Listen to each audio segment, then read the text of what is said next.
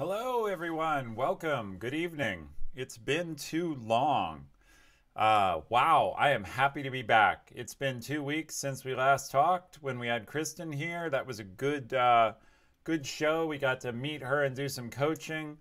But I'm really excited uh, to be back with you after a big break and talk about overcoming setbacks. Um, it's a topic I'm passionate about. I posted uh, an article on LinkedIn I'll share here in chat in a minute um, about what I call asymmetric consequences, which is part of the way you can have setbacks. But I'm super excited uh, today just to be back. Uh, I've missed streaming. Um, I was off with family, which was great, but I was away from uh, the chance to spend time here. And uh, I'm looking forward to a good show. So I'll repeat this later in the show, but for those of you who don't know how Easy Coach works, which is probably nobody who's here right when the stream starts, um, we are a q&a based show and the way we do q&a is we have a question and answer widget um, and twitch changed the way overlay or i'm sorry component extensions work. And so it used to be that the component extension you'd find it i think at the bottom at the top of the screen but now twitch docks all extensions on the right hand edge so uh, if you're on mobile, this probably won't apply, but if you're watching on the web and you want to ask a question, uh, you need to go to the right-hand edge of the screen. I'm going to do it here. You should get a little circular question icon. It's blue and green. Um, yes. Good job, Kyle. The mysterious item is the hat. We'll talk about the hat later when some other people show up and they notice it.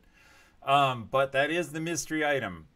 Um, in any case, uh, if you want to ask questions, um, and please do because we're question driven, uh, grab the extension off the dock at the right, open it up. It will let you ask an extension, uh, sorry, ask a question. Um, the moderators will approve the question, and then the rest of you can vote on it. So today we're going to talk about setbacks and overcoming them. We're going to talk about the article I wrote, which is related, and I need your questions to drive it. So right now there's no questions in there, um, so you'll have to have at it. Uh, so without further ado, um, I'm going to pop up another window here real quick. Uh, and that window is going to pop up over my face because it always does. Um, so this is the article I wrote um, over on LinkedIn. I'll put the link over in. Um, yeah, Llama, you're right. You have to build the suspense. That was too easy. But uh, anyway, here's the actual link to the article if you want to read it. It's related to what we were doing. I'll pop out from behind the window. I'm not going to rehash this whole article here because you can read it now right? Like that's the idea. So you don't need to. Um, and so I'm going to take it down, but the, the link's in chat. We'll repost it if we refer to it again. Uh, and meanwhile, I do want to take a minute and say, hey, uh, LinkedIn is incredibly important. Um, it's not just important for me, um, it's actually the number one tool from a networking viewpoint. And I want to tell a story there. One of our longtime subscribers, Akble, um, just got a job after, I don't know, a six to eight month search. And I don't know if he's here tonight. And I'm not sure if he's ready to have uh, his job discussed in public. But uh, LinkedIn's a primary tool. And a few weeks ago, I did a how to find a job um, uh, talk. And some people rightly ask, gee, is my answer to everything networking? And it's not. Um, the way to find a job, and that isn't our main topic tonight, but the way to find a job includes building your skills and being good at something and how you do your search. But a key to finding a job is 100% um, your network and reaching out through that network. And uh, real name is Steve. He doesn't mind if I share that. And what Steve has found is that without being introduced into a target company, he wouldn't even get a call back. And so finally, after enough introductions to enough people, he got hired. And that's great for him. Uh, but the point of it is coming all the way back to this article being on LinkedIn. Um, if you're not on LinkedIn and you're trying to build your career, you should be. Uh, now, when you're on LinkedIn, the Easy Coach is on LinkedIn, so you can follow the Easy Coach there. Um, you can connect to me personally. Um, I generally accept most connections that I recognize from here on Twitch. Um, so, and obviously, this article, if you go look it up, is written by me, makes me easy to find. But the point is, you need that. All right, let's come back to setbacks. So, what do I want to share about that?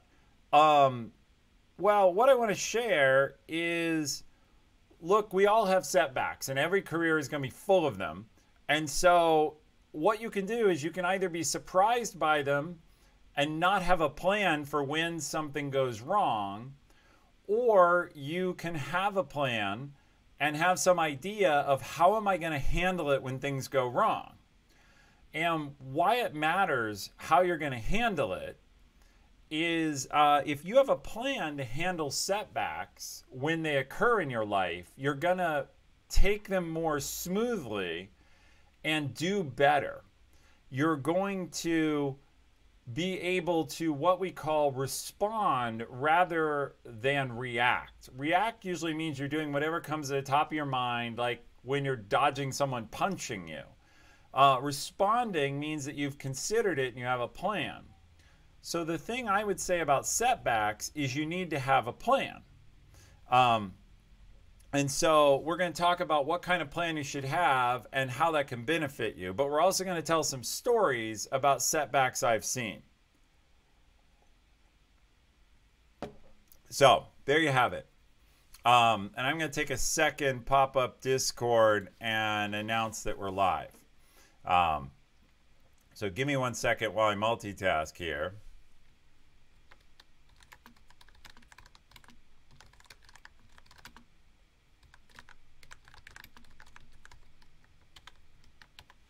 All right, good enough. So that part's done. Um, all right, so what else do we need to do? Um, so setbacks, they happen to everyone. Uh, what I guess I'd say, uh, let's talk about setback stories. So I've had several in my career, uh, some of which I've shared here before. Uh, the two most dramatic that I think would interest people is I really managed to get myself fired twice early in my career. And you can't, um, there's no real way to sugarcoat getting fired uh, other than as a setback. Now, in neither case was I so unlucky as to have someone walk in and say, hey, you're fired. But from a practical viewpoint, early in my career, uh, during the dot com bubble era, when companies downsized, they had to decide who to downsize. And believe me, those choices are not accidental. When a company needs to downsize, um, they look at who's on their team and they decide who they can live without. And I put myself in a position where my companies could live without me.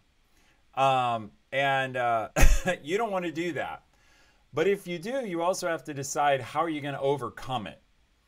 And uh, I'd say the first thing, so I'm going to go through my lessons. Um, and I've got them written down here, so I'm going to refer to them. But the first thing is, I would say anytime you have a screw up, which is a setback or a potential setback, no excuses. Don't make excuses for it. That's hard, but own it. At least at first, own it to yourself. If you're in a punitive environment, maybe you need to make excuses where you work, but you want to own that mistake inside yourself and be able to look in the mirror. The biggest failure I see with folks in the workplace is they're afraid to actually say, I was wrong. I blew it. I forgot it. Um, and because everybody knows you blew it and you forgot it, you're not actually fooling anyone. You just look like you uh, can't face it. And, and um, worst case, that you're a liar. And those traits won't help you. So, thing one, face it. Uh, thing two, um, be willing to visibly learn from what you did wrong. So, look, mistakes happen. Own up to it and fix the mistake. Every mistake I got out of, I fixed quickly. And uh, in the cases where I managed to run myself out of a job, I tried to learn and be different in the next job. Now, obviously, it took me a couple of cycles. Hopefully, you'll be faster than I was. Um, ask for help. Uh, it's not bad when you make a mistake to say, look, I know I screwed that up. How can I do better? And then actually do it. You don't just say it. Um, work extra hard. And I'm going to uh, switch over here to see if we have questions coming in. Uh, remember, uh, no questions, um, nothing to talk about. So you guys have to set up your questions for what you want to know about setbacks. And nobody's entered a question yet. So I can keep telling stories for a little while. But if you don't have questions about either the article I wrote or uh, setbacks, we won't have any questions. So it'll be a short broadcast and I'll get to have dinner. Um, but that would be sad because I've been eager to be back with you all as an audience. So, uh, look, um, let's talk about the rest of what you need to do um, that I think you need to do. So when you've had a setback, hey Chalupa Whale, good to see you. Welcome in. Um, when you've had a setback, uh, which happens to everyone, um, it's a good time to put in extra hours and work extra hard. In other words, you want to be on top of what you're doing. Um, and so that's the last time to like get depressed and slip out of work. You've got to be able to face the fact that you're a little bit in the doghouse. And I will talk about a scenario at Amazon where I got myself into the doghouse. Uh, let's see. So my point there is everyone has things they're valued for and they have liabilities. Um, nobody at work absolutely loves you. Uh, nobody at work absolutely and completely hates you, even if they seem like it. They have some scorecard in their mind of things you do well and things you do poorly. If you've had a setback, it's a good time to be racking up points on the things you do well. Um, patience and humility. Uh, be prepared in your mind. Um, be prepared in your mind. I appreciate we've got the first question in. It's a good one. Um, remember, if you want to ask questions, uh, you can do so through the link provided, or you can do it uh, through the extension, and then other audience members can vote on them. So I like this question. We'll get to it here in a minute. Um, point is, though, patience and humility. When you do make a mistake, you've got to face the mistake, uh, and then you have to uh, realize that it's going to take a little while for people to forget it. And the story I usually tell here is the analogy of folks throwing rocks in a pond. And so um, you can stop throwing rocks in a pond, stop making mistakes or having setbacks or having a behavior people don't like, but it's going to take a while for the ripples to settle out. And that's like people's memory of you. Their memory of you is sticky. And once they decide, like they did in my case, that guy has a big mouth. Um, and he talks too much and he's critical, which is how I was in the situations I got in trouble. Uh, you can stop doing that, but it takes a long time for people to say, hey, you know what? Ethan's different. You're a different person now. So uh, be a little patient, be humble, but it's important to refute actual falsehoods. So if someone believes you did something wrong that you didn't, or that you're responsible where you truly aren't, it's important to clarify that. Uh, own the guilt you have, not the guilt you don't. So, step one in overcoming a setback is really having a plan to do so because when it happens, you're going to be emotional. Other people around you are going to be emotional. You're probably going to feel bad that something went wrong. Um, you know, if you've read my article or if you're reading it now, the one that uh, I'll stick the link in the chat again because we had a bunch of people join in. Uh, let's see here. Yep. So that's the LinkedIn article I wrote on asymmetric consequences. Keep the questions and voting coming, by the way. We have a couple in, but only one vote on each. So those people are going to get to go first. Anyway, um, if you have asymmetric consequences and they hit you, if something goes wrong suddenly and unexpectedly, uh, you want to have a plan and you want to have already thought through what is my character and how am I going to behave when things go wrong? Because it's a critical time and you don't want to be making it up on the fly. And believe me, if you're making it up on the fly under pressure, you will do all sorts of things that you didn't think you'll do. You'll lie about it. You'll make excuses for it. You may not be a liar. You may not believe in lying. You may not be an excuse maker. You may believe in owning your shit. Uh, thank you for the follow there, longest moonwalker.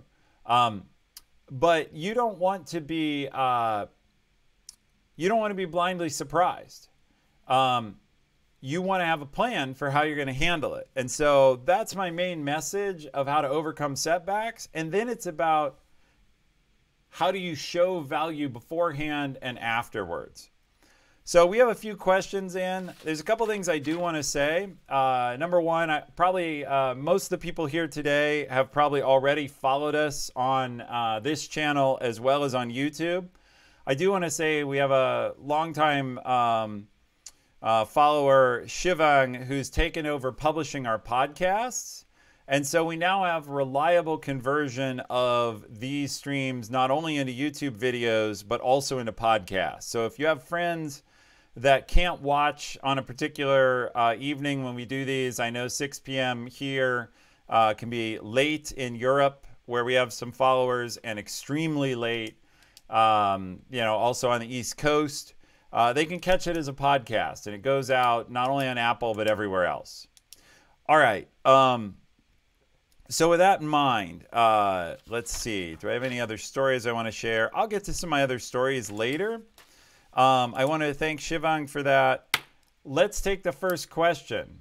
Um, and that first question, which the mods will pop up, is what are some ways to show resilience in the face of a setback?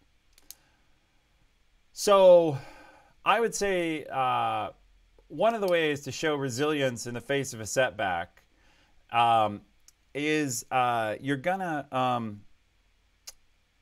you need to just show up for work and do your job. In other words, some people allow themselves to get depressed or they're afraid of the feedback. And the worst thing I think you can do is hide. Now, you can be humble. Like, it's not a time to be blowing your own horn or asking for new raises or assignments or things like that. But you can't cringe away. In other words, if you act like a criminal and like a failure, everyone will let you. If you act like, yeah, that happened, but I'm going to fix it and move on, um, people will say, oh, he fixes it and moves on. She fixes it and moves on. I would say, uh, and I'm going to tell a couple of the stories of my greatest setbacks at Amazon. The number one thing I did to overcome those setbacks was uh, I um, fixed them quickly. So I worked long hours. I came in, I was present, I was visible, and I got the problems fixed. And when people ask who did it or what got screwed up, I said, We made a mistake. I made a mistake. And that really changes. Uh, if you just think about how you react with others, um, Hey, Kristen. Yeah, we'll post the link for questions again. Um, so uh, let's see. I can do that. There you go. There's the link for questions, or you can do it in the overlay.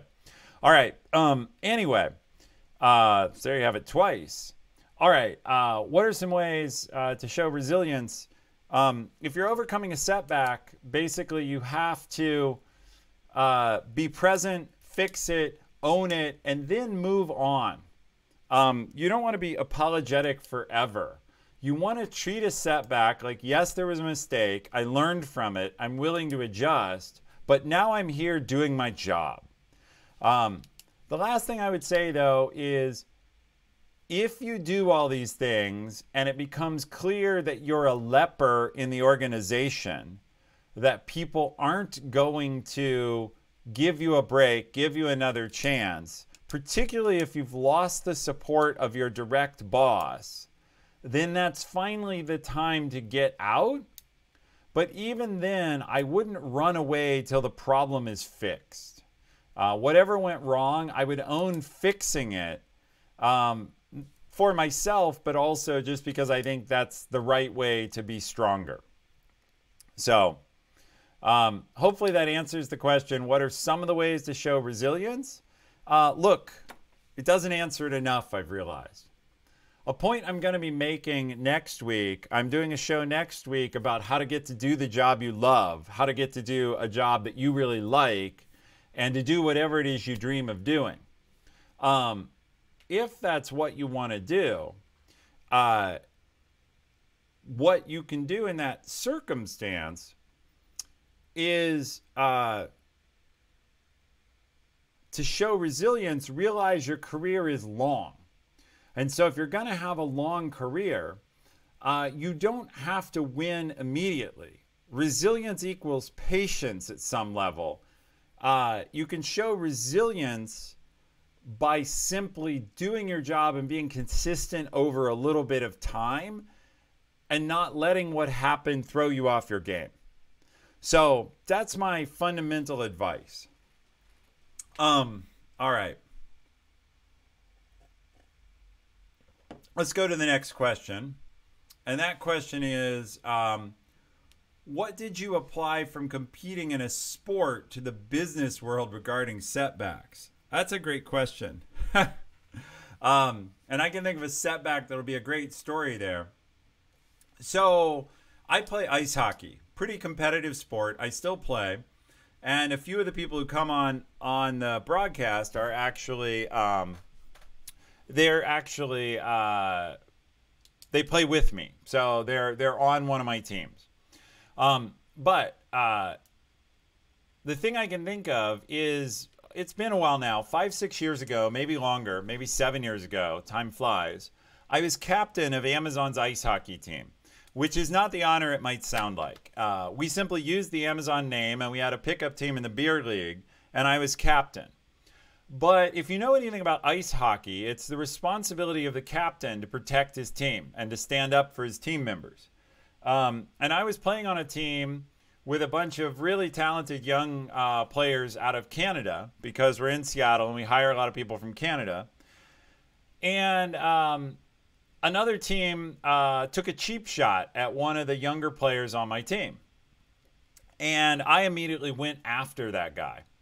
Um, and uh, long story short is we ended up in an altercation at the boards. Uh, and the setback I thought of after the game was I'm a 40 at that time I was like a 44 year old executive at Amazon. I was thinking, what the hell am I doing getting in a fight with some random guy I don't know um, up against the boards in an ice hockey game? Uh, you know, I'm out of my mind. Like, what am I doing? Um, and so I thought about that and I just thought, uh, this is not what I'm supposed to be doing.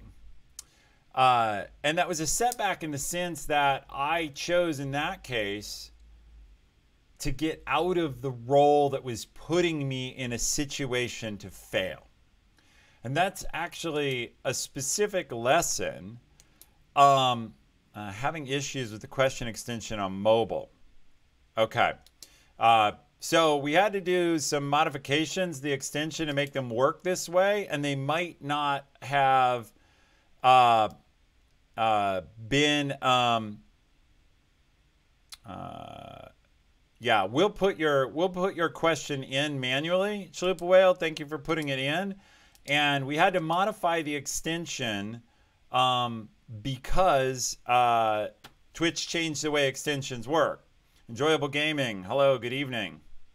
Um, so we had to change the way the extension works because Twitch made a way uh, change the way extensions work, and it's possible we broke it on mobile.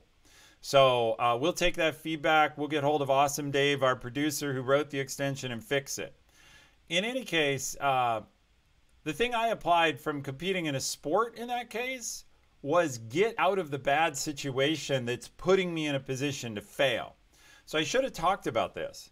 If you're having setbacks because you're in a role that doesn't fit your skills, you should make a change. You either need to learn the skills and master the skills, or you need to get out of that situation.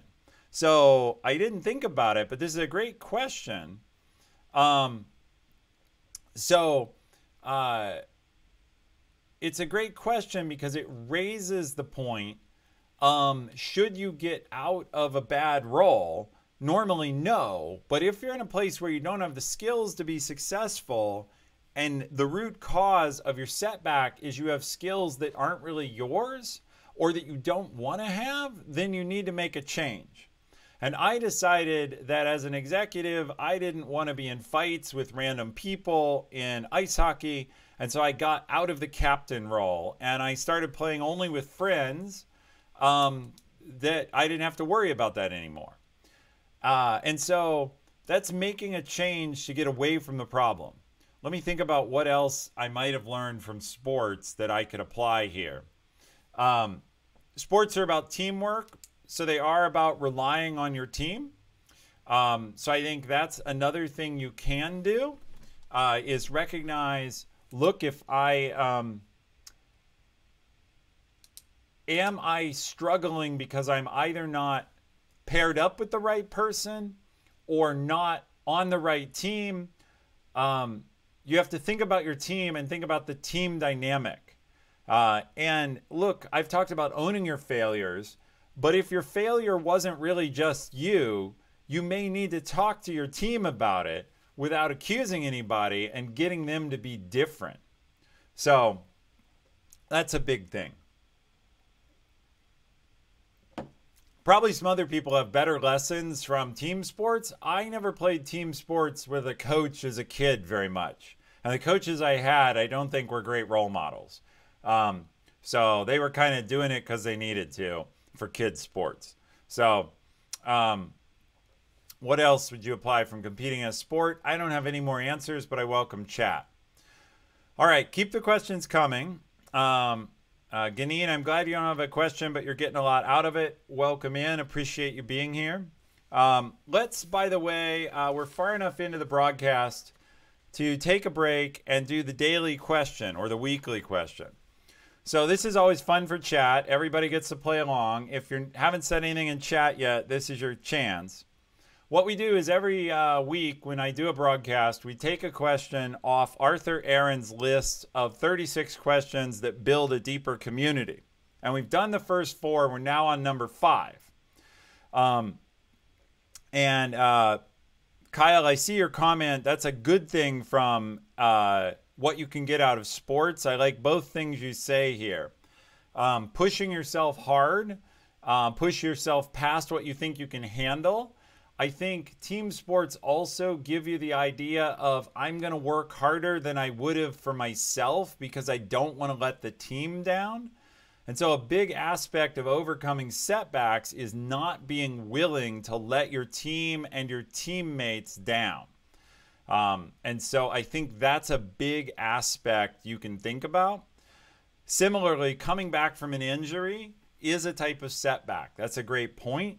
Um, you can play injured at work just like you can play injured uh, in a sport. Um, so, uh, good point there. Um, you know, I was married, I got divorced. The divorce sucked. I'm happily remarried now, but uh, I was playing injured at that time, right? I had a lot on my mind. Uh, I have a coworker. Um, he's got a very sick family member, you know, deathly ill, potentially deathly ill um, that's a terrible handicap. And so playing through that is a form of resilience. Um, and getting good at dealing with uh, getting good at dealing with adversity is always going to be useful at work and and setbacks are a type of adversity Okay, anyway, the fun question of the week after that heavy topic. Um, when did you last sing to yourself? And then when did you last sing to someone else? So I always answer these. Um, and, uh, you know, I'll say in, in our family, there's a lot of music in the car. There's music in other times. And I have an awful singing voice, which right now I will not grace you with. Uh, but sometimes I sing in the car anyways. Um, and so everybody, I, I, appreciate enjoyable gaming stepping up first uh, and saying he doesn't sing to no one. Um, and uh, Pink Dragon singing to herself a couple of hours ago. Uh, I was purposely singing in the car, both because I liked the tune and to inflict it on my daughter, um, because her eye rolls are a ton of fun. Um, and it, she sometimes watches these broadcasts. So if she's watching, uh, you know, um, uh, that's uh, that's for you. But I was singing to her, um, and since there were other people in the car, I was both singing to myself and others. But everyone else chime in. Uh, Ojo four, I sung to my cat a few nights ago. Does that count as someone else? Yeah, close enough. It says, well, uh, when did you last sing to yourself and someone else? Um, Ganine, I play guitar and sing almost every day but too afraid to do it in public. Well, I'm sorry about that, but I'm glad you sing every day and enjoy the guitar. Uh, my sister played guitar, um, uh, and it was great. I grew up around her folk singing, um, old 60s tunes. Uh, okay, uh, Chalupa Whale, I probably sing some song daily, but not to anyone else. So the push is when did you last sing to somebody else? Um, Probably both happened today. I sang to my sister and sing to myself in the shower. Yeah, I get the singing in the shower. I don't do it very much, but I get it. Uh, Kristen, about 10 minutes ago, uh, yeah, Kristen has young kids. And so uh, it's not a surprise to me that she was singing just 10 minutes ago. Uh, but Kristen, was that to your kids or to yourself? Christmas time is perfect. It is true. Um, I love Christmas carols. It's one of the things I like to sing. Uh, I also sing in church, although badly. Um, but that's another place I sing. And I guess that's like to others. All right. So the point here is uh, uh, Twinkle, Twinkle, Little Star. Yep. Uh, I used to sing a song to my daughter every night going to bed. Um, all right. Uh, now she's too old for that. Um, all right. Uh, so let's see. We'll go back to questions now, and then I'll talk a little about the article. I appreciate you putting in questions, and I'm sorry we've learned there's a problem apparently on mobile. Uh, so if you are on mobile and can't get a question in, put it in chat, and our moderators will move it over. Um, we had to change the widget, as I've said a couple times, and apparently we may have broken something on mobile. So this question's a big one. Um, you can do everything right, gather all the data, analyze it, engage your stakeholders, etc. But you just get unlucky and the project or product doesn't work out. As a leader, how do you get an entire team who put all their effort into this project or product to either remain motivated to fix it or simply move on to the next opportunity? To me, that's something you want to do up front. It's a little bit like what I said preparing um, yourself to overcome setbacks.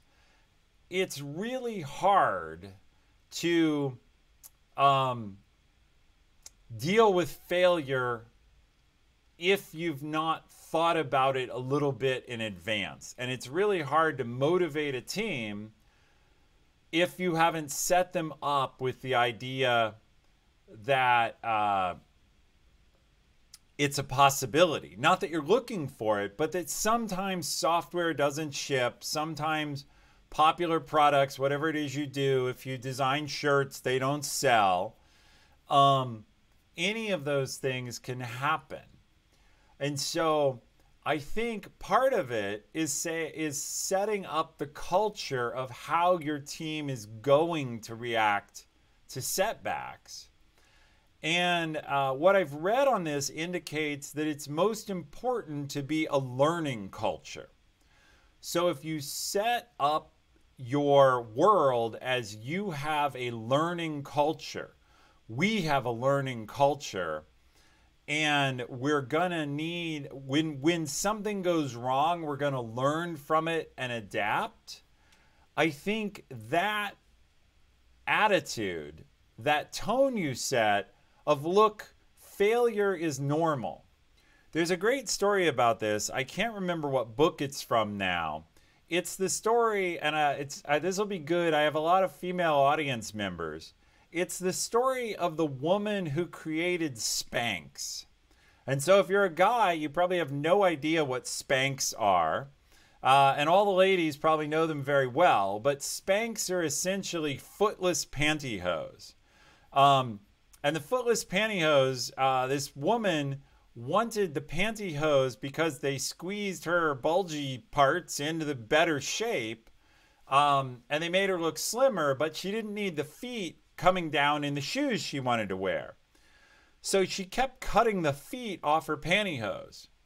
Um, and one day she thought, you know what? This is dumb. Why doesn't somebody just make pantyhose with no feet? Well, um, the story is she had been taught by her parents from when she was very young to that failure was an opportunity. And so I guess her dad at dinner every week used to ask her, uh, or every day, what did you try today? Not like, what did you do or how did it go, but like, what did you try? And it brought her into a world. Um, hey, Tree of Life, you're welcome. Uh, I'm glad you found us through Devin. Uh, love to work with him too. Um, that culture where you've set up, whether at work or at home, the idea that you we're not here to always succeed. We're here to try things, to test things, to experiment. Um, that kind of culture that's a learning culture is a positive culture. Uh, part of this goes to what's called the growth mindset. There's this book, oh hell, I can't remember the author now. Um, it's this idea of the growth mindset versus a fixed mindset. And yeah, Ojo Four says fail forward. Uh, 40 Pink Dragon says culture and try, try again. These are all correct. Basically, they're uh, this idea of the growth mindset says some people believe that their success or failure is based on their innate intelligence and their abilities and if they fail, they're screwed. They're never going to be better. They're never going to be smarter. And so the best thing to do is avoid situations where you might fail. The growth mindset says, look, you can learn. You can gain new skills, and you view failure and setbacks not as, oh my God, we're screwed forever, but oh, I didn't know that. Now I know more. I can try again. So, this woman who is creating Spanx, she went out and tried to convince a number of textile manufacturers, basically clothing makers, hey, I've got this idea for a product. I want you to make footless pantyhose. Well, it turned out most of those factories were owned by dudes. And the dudes were all like, yeah, whatever. They were blowing her off, she thinks, both because she was a young woman and because it was a product they weren't familiar with. So, so she got blown off time after time. But she kept trying. It didn't convince her to stop. She thought she had a good idea. And she was resilient, so she kept learning. Well, the moral of the story, and you guys can all go look up this product if you don't know it, is that um, she did finally get her product made. It's really funny how she got it made. She told some guy about it, he blew her off and then he went um, he went home and was kind of busting on her to his wife and daughter and saying, "You won't believe this crazy uh, idea this woman had today. She wanted me to make footless pantyhose." Um, and the wife and daughter both said, "Call her back. She's got a good idea. Call her back." And so that's the guy who ended up manufacturing them. Well, I think she was um, I'll have my facts slightly wrong here, but she's like the fastest woman to a billion dollar enterprise from the time of founding to the time of having a billion dollars in American history. Um, there are lots of female billionaires, but I think she's the fastest to a billion, is my recollection. And she's still pretty young, but like she did this in her 20s. So, uh, yeah, Spanx is doing that well as far as I know. So, so anyway, that's about persistence. I guess finishing off the answer to this question, it's all how you set up the culture and it's also how you lead. If you personally look inspired and treat the situation like an opportunity and like a chance to get better, your team will too. If you don't treat it like an opportunity uh, and you treat it like, oh, we're screwed, um, you know, we're in the doghouse now, your team will treat it that way as well. So uh, we have a thin list of questions um, here. Uh, I'll answer those. And then if we don't have more, we'll either have a short uh, chat today uh, or I can share a couple of stories and then we'll move on. But I always welcome more questions and uh, please put them into the widget. Uh, if you're having trouble on mobile, let people know your votes on mobile uh, in chat and we'll get the extension fixed for next time. Um, so, Kristen, I see your question there, but maybe you can go ahead and put it in uh, through our question system just so others can see it and vote on it. So, question now is how should you manage mistakes uh, other people make on a project that you are ultimately in charge of and responsible for? Well, um, two things there. Uh, first, make sure it's really a mistake and not just something different than what you would like. Um, my point there is be careful to discriminate between they didn't do it the way I'd have done it and it's actually wrong or bad. And I'm not saying, of course, other people make mistakes. But sometimes we can be narrow minded about if it's not my way, it's wrong. And that's a leadership problem. If someone else is getting good results in a different way than you are, celebrate that because it means they may one day have a way better idea and you don't want a bunch of mindless droids who just follow what you do.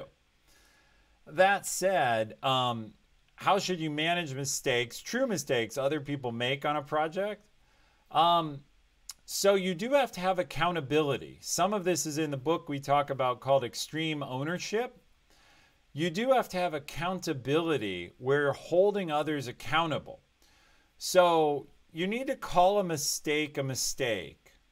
Um, but you don't need to be punitive about it. You then have to talk about how we're going to fix it and what we're going to learn, and that the key difference is separating focus on the problem from focus on the person.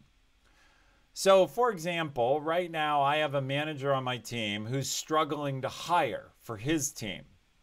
And so it's not exactly a mistake, but it's like a mistake. It's a problem, it's a setback. Um, and I'm responsible, right? I have to deliver the project just like he does. But to my boss, he doesn't care about that manager. He cares about the project and whether or not it's done. So I'm ultimately responsible. So what I have to do is um, I have to hold him accountable for not hiring, but then help. And so that's a specific example. And so I said, look, we have not hired fast enough. It's holding back our ability to deliver. And we must put more focus on that. So I set the standard and I called a mistake and a problem a problem. I didn't sugarcoat it. But then I can either just beat up on him and say, um, you are a problem, you are failing, you, and I can personalize it and you need to fix it. Or um, I can offer help and say, okay, uh, what I'm actually doing is we're going to have a meeting and we're going to go through the data of where we're succeeding, where we're not, where we're finding candidates and where we're not. And then we're gonna um, figure out a plan together. And I've gotten him help. So the question here how should you manage mistakes others make that you're responsible for? Uh, number one, you can't throw them under the bus. Um, you you can't uh, you can't publicly blame within your team unless you're planning on firing that person. And even then, other people will learn, like, oh, I get it. If I screw up, I'm going to get blamed and then fired. Um, so they'll hide their screw ups. And you don't want that. Uh, what you can do, though, is call it out as a mistake. And we talked about some of this in the stream I did coaching Mugendra because uh, he had a mistake. His team made some mistake and he needed to call it out to them publicly so they could all learn from it. Now, again, if you've set up a culture that says when there are problems, we're going to talk about them openly and we're not going to blame people, we're just going to learn, fix them, and move on, people will be okay with it as long as you live up to it.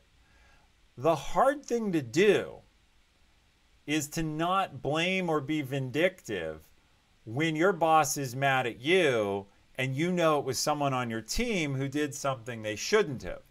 That's really hard to do. Yeah. Uh, 004 says absolutely correctly give praise in public, correct in private. So, um, a lot of this, what's coming out, and thank you all for helping me extract, extract this overcoming setbacks and dealing with mistakes is really about your own internal culture, how you're going to handle adversity, and the culture you set up in the team around you. And if you're part of a larger culture and that's a punitive culture, that's a pretty good indication that you need to get out of that culture. Um, and so I would say be aware if that's happening. All right, we got a bunch of votes for this next question. It's also the last question we have in. So if you have other questions, um, put them in now. Otherwise, I'll tell a couple stories and give you a chance after I answer this one. So the question is what first steps do you take when facing a setback but have no idea what went wrong? I think the only thing you can do there is acknowledge that there's obviously a problem and start some kind of investigation. Now, this question, and if you wrote this question and want to clarify in chat, I'd love the clarification in chat. Do you mean like someone's mad at you? Uh, you have no idea, like, you have no idea why they're pissed? Or do you mean something broke and you don't know what's broken or why it broke? because those kind of have different answers. Uh, for the case where you have to investigate um, why it broke, that feels more like a technical, you know, acknowledge that something isn't working and talk about form a plan to go investigate it. Um, so, for example, uh, um, yeah, haven't uh, Chalupa Whale says haven't gotten to root cause yet there's this technique called the five whys we use a lot, which is we ask like, oh, this went wrong. Well, why? And then you dig down, and usually about five whys deep, you get to the root cause. Um, but I'll give an example. Uh, today I was talking to a peer of mine who runs a division um, at T-Mobile, and I'm going to go speak at the T-Mobile offices in a couple weeks. And um, I was telling him about a problem we had with our T-Mobile account where uh, an extra service got added to our bill. And so our bill shows up and it's 50 bucks higher, and we didn't add this service, or at least we don't think we did. And um, I was talking to him about it, and he said, You know, I, I don't know what caused that, but we will investigate. And presumably he will. But the point is, own the fact there's a problem, don't doubt it. Now, if the question you really meant here, because I'm not sure who wrote the question, they haven't showed up to clarify, at least in chat, is um, hey, I'm being treated like something broke or I did something wrong, but I don't know what it is. okay, that's a screwy situation, but I realize it's real. It's real in a lot of people's lives. They have bosses who treat them like lepers or give them the cold shoulder, but don't level with them on what the issue is. I think you've got only a couple of options here. Basically, ask the boss or ask whoever's got an issue. You don't have to be confrontational, but you do have to be direct and just say, um, it seems like uh, you're a little bit distant right now, or whatever words you want to use. Is there a problem? Is there something I can do differently? And if they still won't tell you, that's another one of my famous easy coach time to get the hell out things because I don't have time and you don't have enough heartbeats left in your heart to deal with people who won't at least tell you what the issue is.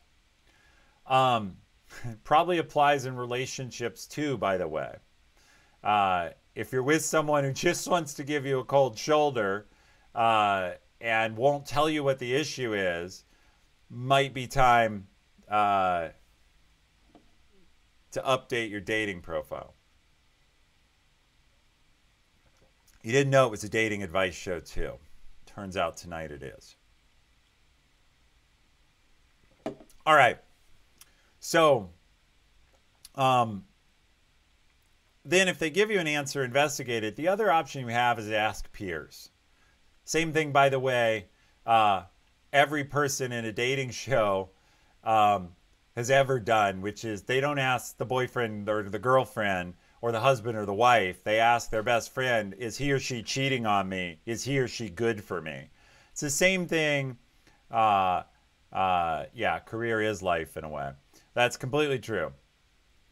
Um, all the things we talk about in career development probably help in your life too. Like you're going to have setbacks in your regular life. I've done all the talking in terms of career, but setbacks happen in life too. Um, and that's actually a great point. I see we've had another question put in, um, but I want to talk about that for a minute. You're going to have setbacks in your life, and it's basically the same recipe to handle them. How many of you know people who shipwreck their lives and they can't seem to get past it? Like to you, it's flippin' obvious why their life is messed up, but they can't or won't face it. Um, and they always have an excuse, uh, or they always deflect owning that something's broken, you can even leave it broken. Um, I struggle with weight. I've told people here before I used to be really heavy. I lost the weight, but I love desserts. I have a sweet tooth. I love chocolate. Um, I'm probably never going to stop loving chocolate. And yes, this is a trivial example. It's not killing me yet. But I can first at least own the fact that gee if i want to be fit and i want to still eat a lot of dessert i'm going to have to work out more or i'm going to have to diet more in order to balance that so i either can get over my love of desserts and chocolate option one or i can have an alternative plan this is pretty much like work if there's something you're no good at at work or a type of work you hate you're going to have to have a plan to either get better at that or to successfully have someone else do it and not be in that kind of work. Same thing. All right. I see we have another question, but uh, we've had a good broadcast, so I'll take that question towards the end. I love that people are voting on them. Um, and I apologize that we're having widget problems. I will get that fixed for the extension. But let me talk about a couple of setbacks I had um, at Amazon. I've shared a story before of where uh, I I broke something in front of Jeff Bezos, but here's a setback that's worth talking about. Um, in my very first job at Amazon, I launched Amazon Video, what's now Prime Video, and uh, when I launched it, uh, somebody says they see three questions.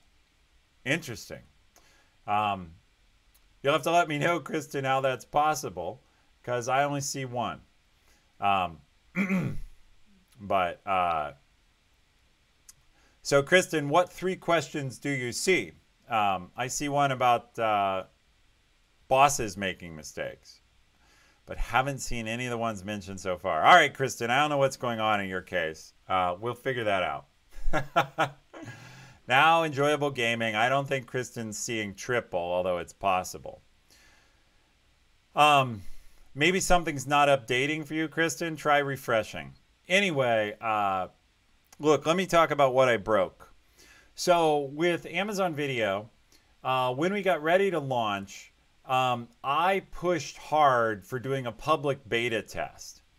And I thought we were going to have trouble with that beta test. I thought the product was going to have trouble. And so I wanted to do a beta test uh, to flesh out the problems. The Amazon leadership at the time, yeah, so something's broken on mobile. I don't know what it is. Um, uh, actually, uh, one of our moderators is here. Pink Dragons, can you try pulling things up on mobile if you have your mobile handy through the Twitch app and see if you can figure out what's going on so that we can report it to um, Awesome Dave to get it fixed? And for the rest of you who are on mobile, um, maybe if you can characterize what you're seeing a little bit in chat. I won't read it all out, but we need some debugging information for Awesome Dave so he can fix whatever's wrong because something's clearly broken. I know we have a couple engineers who hang out here, so file a bug report for us. Um, all right. Anyway, um, for Amazon Video, I wanted to run a beta. The management wanted the launch to be a surprise. They wanted it to be like a big PR announcement. And if you run a beta, it's going to leak. So they didn't want to do that. Um, so I lost that. I was new at Amazon and I was overruled. They said, no, we're going to have a surprise launch. Well, it turned out when we launched, the surprise was it didn't work, um, which was not a huge surprise to me. But uh, one of the things I did was I fixed it really quickly. So I and the team, I, I say I, look, my team fixed it. Um, but we banded together. Now we had data because we had launched and we had all these problem reports. Just like uh, now we have problem reports about our mobile testing. Um, I'm going to uh, play moderator here for a second. Um, so um, we had a. Uh, I fixed it, but one of the things that helped me survive it is I had talked about the risk. And so uh, I made the risk plain. And that again goes to culture. One way to survive setbacks is to make the risks clear. And um, hmm, we just lost a question out of the list of questions. Um, not sure. Uh, clearly, we're having some issues, but um, I'll talk about that in a minute. Um, what can I do if I notice my boss has made a mistake? Uh, well, it depends a lot on your trust relationship with your boss. Um, if you have a good relationship with your boss, you privately call their attention to it. If you have a poor relationship with your boss uh, or your boss is a tyrant, you're going to have to um, think about what you do. And uh, the first thing I would think about is Am I sure? I talked a few minutes ago about the idea that a mistake, what you think of as a mistake, might be simply something, somebody doing something differently. Um, I appreciate the host there, WizGrim. So thanks for hosting. Um, but uh, what can I do if my boss has made a mistake? Well, you're going to need to be sure you're right. Uh, I mentioned earlier I got myself made expendable at a couple of startups. I thought people were making mistakes. I was being very critical of them. And what it turned out is that my understanding of the business needs weren't as complete as I thought, and I was pretty much wrong. So um, that's uh, an issue. Let's see here. Got a message I have to look at real quick. Okay. Uh, okay, sweet. Um, so the question we dropped out was extraneous, which is great. All right. Um, what can I do if I notice my boss has made a mistake? What I would do um, is uh, I'd make sure I was right. I'd ask questions first. I wouldn't just assume. Um, if you're sure they've made a mistake, I'd get data to prove it or to help them see it, and then I'd ask them about the data. The point is, I'd ask questions and try to be helpful I would also try to have a plan to go and fix it. In other words, if you think it's a mistake, you don't go and say, hey, boss, you screwed this up. What are you going to do about it? You go and say, look, I think this could be better. Um, here's the data that shows that we're not getting all the results we wanted. Here's my suggestion.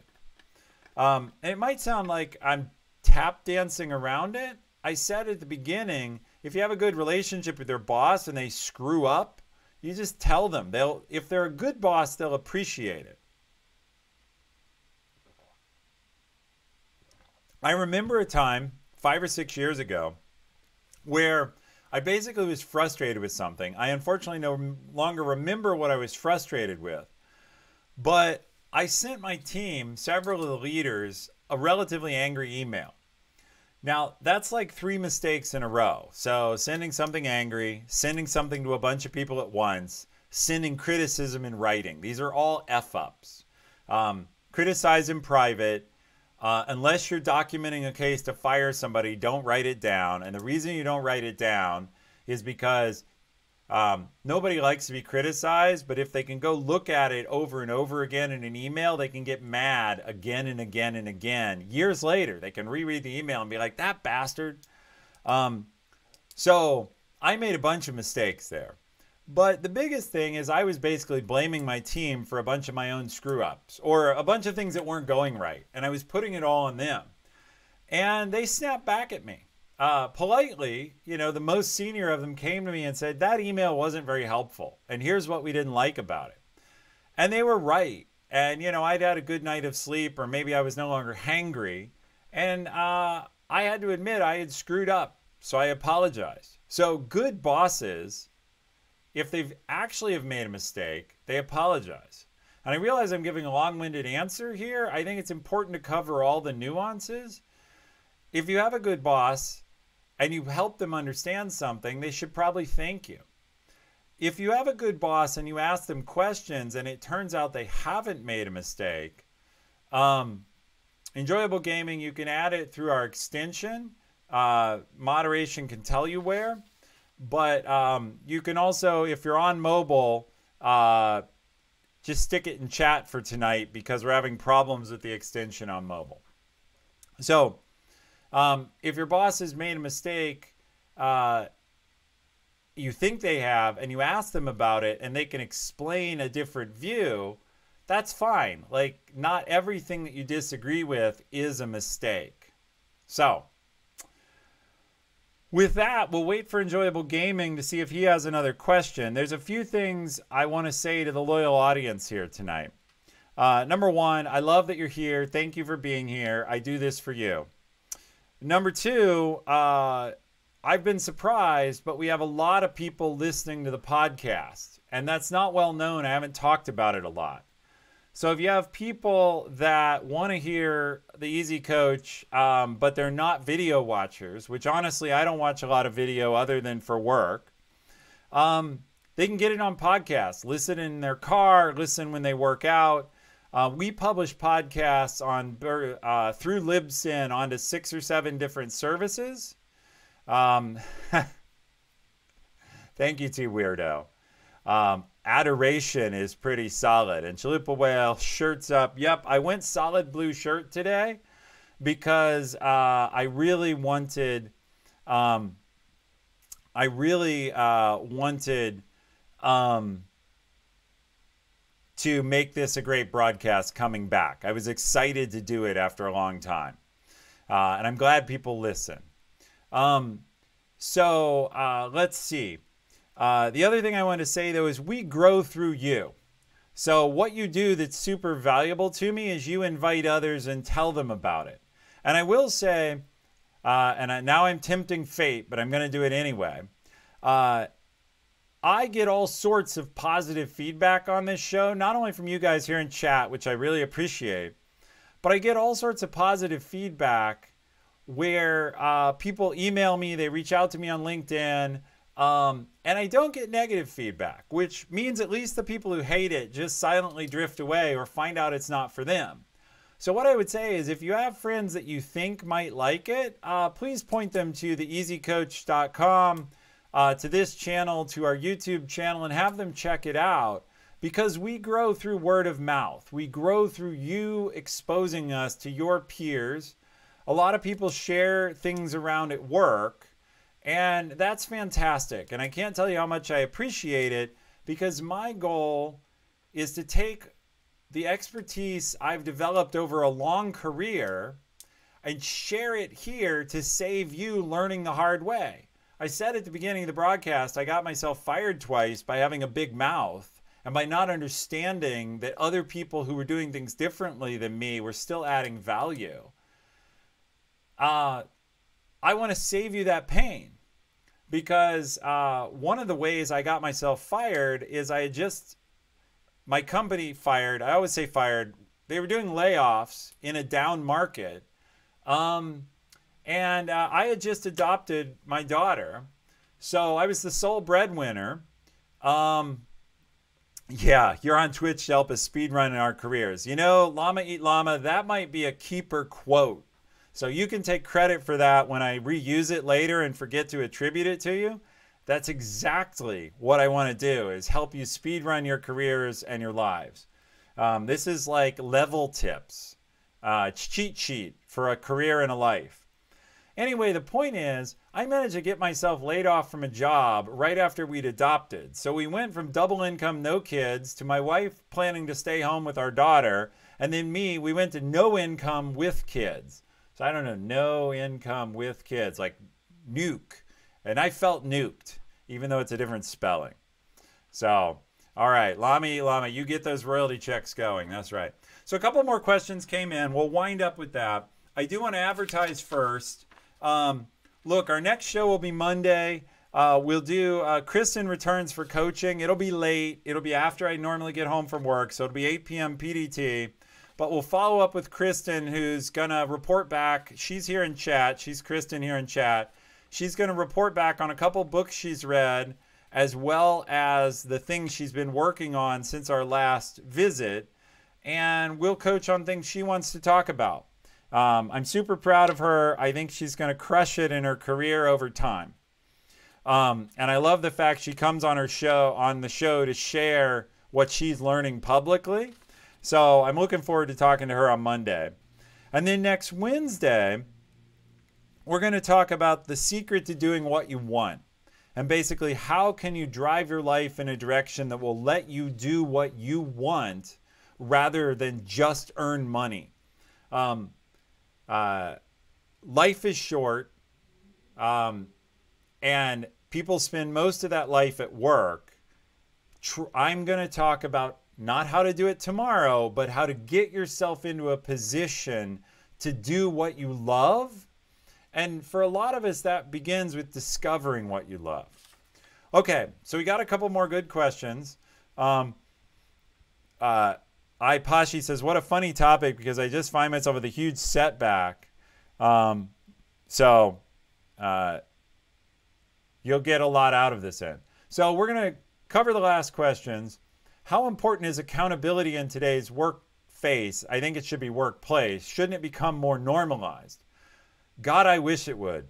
Um, look, uh, accountability comes from leaders and you can only have accountability in a workplace where there's someone willing to set the standard who can handle the discomfort and where there's enough trust that people don't run away from the accountability. So, accountability is a leadership problem. We talk all the time about this book, Extreme Ownership. And in Extreme Ownership, they put forth that all problems are leadership problems. I'm not sure that's completely true. Um, Sprint Speed says another book I recommend, Leadership and Self Deception, is great. Uh, since we keep talking about books, uh, I'll pull it up so you can always go find it. I'm going to pop this up over my face real quick. If you've never looked at it, this is the Easy Coach uh, website, our recommended books. The URL is too small to read. It's just theeasycoach.com and you can click on books at the top and you get all our recommended books. So all the books I'm referencing are here. Um, Leadership and Self-Deception is my number one book. Um, Sprint Speed, go ahead and say, uh, or Kristen, how did that book help you with accountability? Because I think it's great um, as a book overall, but I've never exactly thought about it for accountability. Um, I could probably figure out what you mean, but it'd be better to hear it from you. Um, but another book that covers this a lot uh, responsibility. Let's see, where is it? Um, uh, it's this book, um, Extreme Ownership. Uh, talks about everything being a leadership problem. People not being willing to take accountability is partly, at least, how they're being led. So I'm going to drop this off from over top of my face. Um, but uh, and I it ends up over my face because I blow it up so it's big. Um, accountability should be super normal in a workplace. You need a leader who's willing to do it, and you need people who understand that they're not going to get punished if they own things. Um, they do have to improve. Like, there's a difference between, hey, I can own something and not do anything about it. Like, yeah, I screwed that up. So what? That isn't going to work. But they've got to be able to safely own it without being ostracized or made into lepers. So I think it's super important. It's a leadership challenge. You can set an example. All right, last question. Um, uh, let's see, what Sprint Speed say about this? I've always been aware of the concept of trying to take responsibility. Um, yeah. Yeah, this idea of thinking inside the box, which is in leadership and self deception. Look, as soon as you start to blame others or treat others as objects, you're not going to take ownership. Kristen says it forces you to realize you need to take ownership of your own heart and mind. Yes, we love to blame others. Um, uh, so we love to blame other people. Um, and it's because we don't want to feel bad. Um, you got to get, it will help you to get good at feeling bad we talk some. There's a lot of fans of my buddy Devin Nash here. Um, Devin uh, is a Buddhist.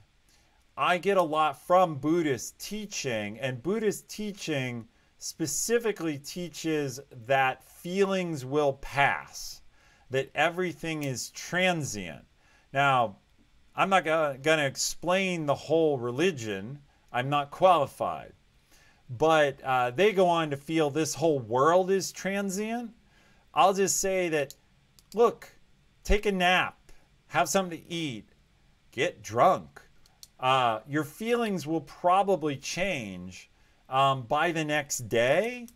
And if you if you don't get good at what they call sitting with your feelings, um, uh,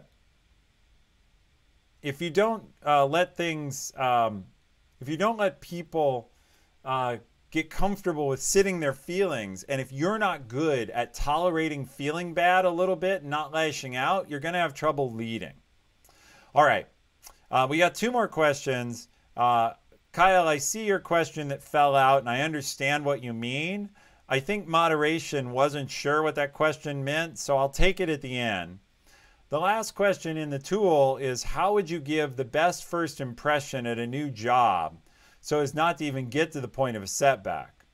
Uh, that question's a little tricky and it's a little off topic. Um, setbacks are gonna happen, and so we could talk about how to make first impressions. hey, Shadow, you're coming in a little late, but I love the raid. Thank you. Uh, we were just actually winding up, but the whole Fox Den has just shown up with 50 people. So we might be going into extra innings with the show if that happens. Um, so, what I would say two things for the Fox Den if you're here. Uh, we're, um, uh, let's see, um, we're talking today about overcoming setbacks. And uh, for overcoming setbacks, uh, we've gone through an hour on it. But if you want to ask questions, we were just winding down, but we love the new audience, so welcome in. And I'm happy to go longer. Um, gonna have a drink though. Oh, Shadow, you had me extend that command. You got to type it out now. Um, so, uh, Shadow's our lead mod, and uh, she had me change the, um, I think it's questions. There you go. Uh, she had me change the chatbot command. So if you want to vote up questions, what you do is you go to our extension, pop it open, and either vote on a question that's in there or ask one of your own. Um, so uh, the other thing you can do is we do seem to be having a problem. We had to make a change to the extension on mobile. Um, and uh, we had to change, uh, we had to make a change to the extension because Twitch made a change how they work, and we appear to have broken it on mobile. So if you're on mobile, you may have to go to the link that just came up, uh, or you may have trouble asking questions. We're going to work on that right now and get it fixed for our next broadcast. Anyway, today's topic was overcoming setbacks. And if you're having a problem, uh, in your career where you've had a setback, we can talk about it uh, and uh, ask questions. I shared a little bit. I'll run back through um, my steps for overcoming setbacks. Basically, here they are in short order for those of you who just joined us. Um, thank you for the follow, JSOHC. Um, so, look, if something goes wrong, uh, here's what you do. Number one, Something goes wrong at work in your career. You break something, you screw it up, you miss something, you're late. Own it. Face the problem. Um, no excuses. And definitely the most important thing is don't make excuses to yourself. Even if you end up making an excuse to someone else or talking about a mitigating circumstance, don't uh, make excuses to yourself. Be man or woman enough to look at yourself and say, you know, I didn't do that as well as I could have. And actually, a lot of people have trouble with this. They so badly need their self image to be strong. And we were just talking about this. They can't stand anything going wrong and they can't stand um, uh, pain, emotional pain. You're not going to go very far in your career. And we were just talking about Devin Nash and Buddhism and sitting with your discomfort if you can't take some discomfort and realize it will go away and that feeling bad isn't fatal, um, doesn't have to be anyway. Uh, feeling bad isn't fatal. If you can function through feeling bad, it will get better, but also you'll overcome the setback. The second thing I said is be willing to learn from them, be willing to learn visibly right? Be willing to say, yeah, I screwed that up. How can I learn? What can I do better? Be willing to ask for help. Go to your boss and say, I didn't do that very well. That didn't work out. How can I learn? How can I do better? Um, if you screw up or have a setback, this is a really good time to put in extra hours. In other words, everyone has values and they have things they do well. They have value at work. When you screw up, there are things you're good at. Make sure you're killing it on the things that you're good at so that you get some forgiveness or some balance to the view of the things you screwed up. Um, be patient and have humility. Uh, time heals all wounds. A lot of people, they let a setback um, run them out of a job or run them out of a relationship having enough patience, and this goes to sitting with your discomfort, having enough patience to realize, you know, I'm going to have to accept being in the doghouse for a little while. Uh, this is the classic in a relationship sleeping on the couch. Uh, you can't sleep on the couch forever, but if somebody needs distance, you can be patient for a couple days. Um, humility if you've had a setback, this is not a great time to beat your chest, ask for a raise, any of that other stuff. Um, so, uh, be willing to be humble and admit you've had mistakes. And finally, um, refute actual falsehoods, though. If something's broken and not working, um, be willing, uh, like if someone if there is a problem, you've had a setback, but there are things you didn't really do or that aren't really broken or there's bad data, correct those misunderstandings. Now, you may have to get evidence to do it, and you don't want to appear defensive, but you do want to stand up for yourself if someone else is simply blaming you. Finally, if you do all these things, get a clean start and go somewhere else if you're going to be in the doghouse forever. But that's only after you've been patient, worked hard, fixed the problems, shown you can learn, owned it. And look, I told one story already of something I screwed up at Amazon. I've had multiple massive failures at Amazon the biggest of which is I broke something that Jeff Bezos was personally looking for me to build and ship. It's a story I've told on the stream other times. I had Jeff personally mad at me and directly emailing me about how could I screw something like that up. And I lived through it and got promoted. And I did it via this recipe. Um, and the recipe was own it, fix it, be humble, learn from it, and deliver more value. Do that. The other piece of advice I gave, and then we'll go back to Q&A with all the new folks who are here. So if you have questions about anything I've said or stuff you'd like to know about setbacks, or let's see, we were posting this earlier. Shadow wasn't here and her team wasn't here. So let me reshare. Um, I'm going to pop up over my face the article I wrote um, not that. Uh, I use LinkedIn a lot. And if you ever want more content that's not on our website or not broadcast, I sometimes publish articles on LinkedIn. Um, yeah, Kristen, I can share more about that example sometime, maybe on your coaching session Monday. If you want to know how I screwed up with Bezos, we can talk about it. Um, so that'll be an advertisement for people to come to your session Monday at 8 p.m. But I wrote this article about asymmetric consequences. So if you have questions about that, I can answer those too. The other point was go to LinkedIn, uh, and you uh, should be on that if you want to build a career. Um, you're not going to build a good career uh, without having a network, and your network comes from LinkedIn. So, um, going back to questions, uh, I shared some of the stuff I'd done. Um, we have a couple questions here. I'll answer them, and then we'll see if there's anything else um, the new crew wants to talk about. So, the next question, which moderation will pin to the top, is uh, Do you ever collect the data and throw a percentage or give odds of something failing? Absolutely. In other words, uh, I do plan for anytime you start a project, you should assess what is the risk of something failing. And I think it's completely appropriate to categorize an effort as this effort is high risk um, or not. This effort is pretty certain. Uh, I give odds all the time.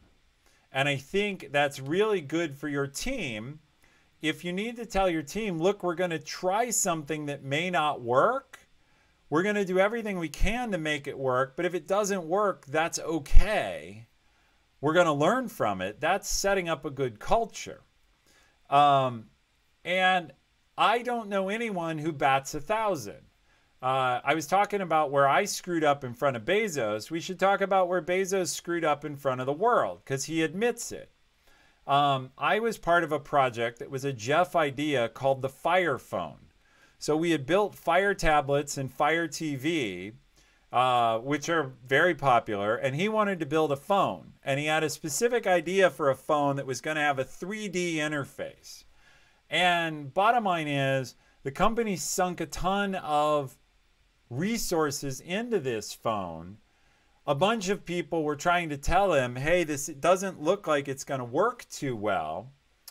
And um, uh, nonetheless, he was the inspiration behind it. It went forward, it launched. We sold a tiny number of them.